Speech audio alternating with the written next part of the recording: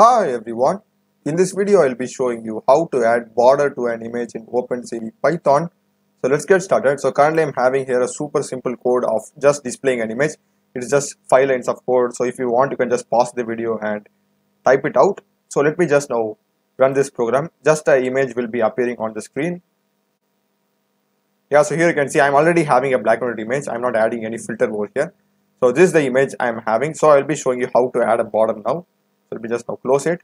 So for this, first you need to come to the line above the imshow function and you need to use this image variable. So it's going to be img which is my image variable equal to cv2 which is the import cv2 dot. We will be using the copy make border function alright. So just type co uh, yeah we will be having this copy make border just hit enter and it will have a list of parameters first we need to pass the image variable name and top bottom left right width border type as well as value. So first we need to go with the image variable that is the source.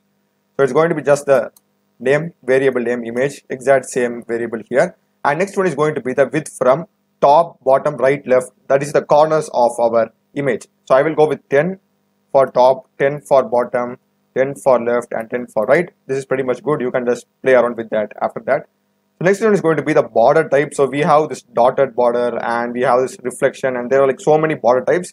I will go with the standard default one. So for that we will type cv2 dot capital B border. So here you can see we are having these many types of border. So you can just play around with this. I will go with the border constant one which is like the default border and just put a comma. So next value is going to be DST. I don't know what is that. That's optional. You can just skip it. And final one is going to be the value which is the color so first I will show with the black one and later that I will be like adding some value or color to it. So this is fine for black color border. So if I just now run it, we'll be getting the exact same image with the border. So this is the thickness like 10. Okay, so now I will go with color. So for color, we need to specify that value within a list. So yeah, remove zero and just put a list. And we need to specify in RGB format. So I will go with RGB. So you can just like browse from the net and find the suitable color in RGB format. I'm just going with this random number. So this is fine, I guess now. Yeah, I will run it again. Just change the value and I'm getting this cyan color. Okay.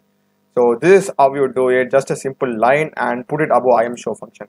So I hope you would have found this video useful. I've also done many other tutorials in OpenCV, C, C++, Python, Java, MySQL, Node.js, React.js. So do check other videos of my channel. Subscribe me. Thanks for watching.